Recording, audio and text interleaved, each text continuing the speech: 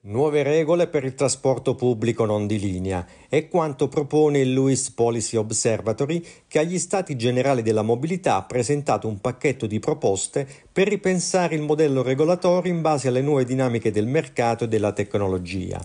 L'obiettivo è fornire agli utenti un servizio di mobilità più efficace, efficiente e sostenibile. Come Policy Observatory siamo posti l'obiettivo di migliorare il, ed elevare il dibattito sulla qualità del trasporto pubblico non di linea e abbiamo convocato gli Stati Generali sulla mobilità per raccogliere eh, riflessioni da parte di alcuni stakeholder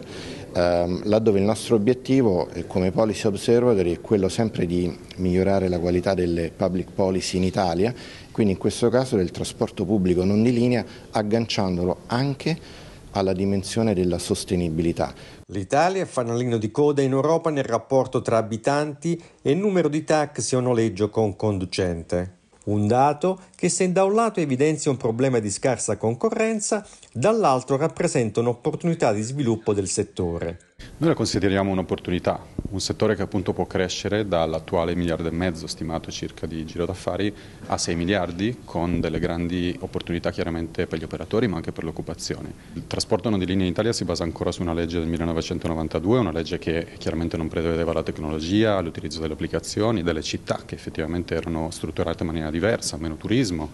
e c'è bisogno di una riforma quindi più organica da questo punto di vista del settore. La sfida dunque è migliorare l'accessibilità dei servizi, arginare il disallineamento tra domanda e offerta ed essere da traino verso una mobilità sostenibile.